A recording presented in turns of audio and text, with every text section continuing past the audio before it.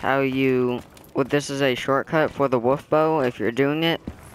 If you have a guy at the rocket pad, just come over here, and if you need to get that flag or whatever, just try to shoot for it here. Damn it. This is my first time doing this.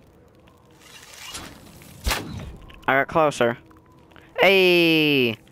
Okay, so if you guys saw where that was, yeah, just like pause the video there, do it there, and like, it's not from that where I just was, but it's like from here. Like if you get it just right, uh, you can do the fire bow part from there too. So yeah, there you guys go. Uh, wolf bow. Um, shortcut, sort of, if you're not doing solo like I am.